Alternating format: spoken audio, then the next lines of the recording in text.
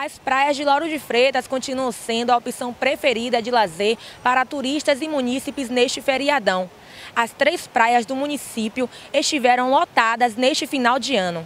A expectativa está sendo muito grande, né? Curtir o verão aqui com a família e vamos esperar uma virada sensacional aqui na praia de Vilas.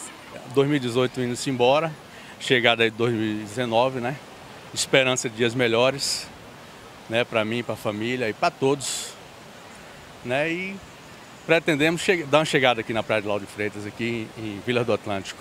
E para você que não abre mão de encerrar ou iniciar o ano na praia, fique tranquilo, pois esse solzão vai continuar brilhando pelo menos até o final da semana, com temperaturas amenas na casa de 25 a mínima e 30 a máxima. Para você, um excelente ano novo!